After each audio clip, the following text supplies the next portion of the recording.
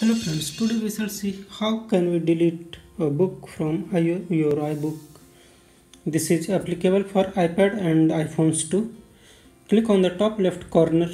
You can see the grids view and you can see at the top right corner a select button. You have to select that.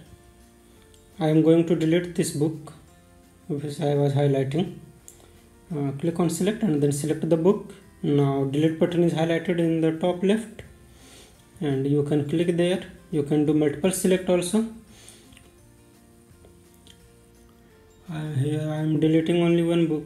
Click on the delete. Delete everywhere will delete it from all your devices all your Apple devices. And if you click on remove download it will delete from the particular device from which you are using. Okay thank you for watching